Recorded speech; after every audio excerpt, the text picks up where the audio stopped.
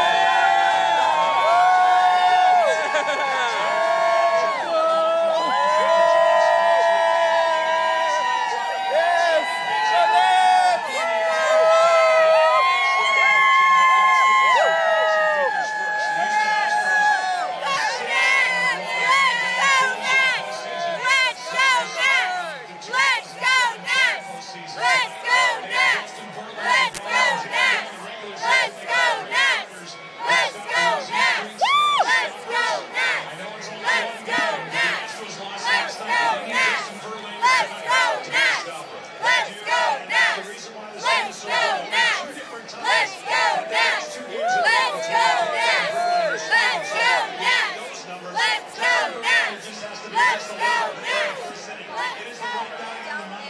He absolutely this moment.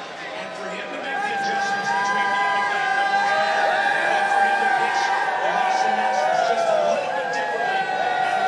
First inning. You were there when Strasburg made his major league baseball debut. One of the most famous young men to come in game, maybe ever. He struck out 14 Pirates on that.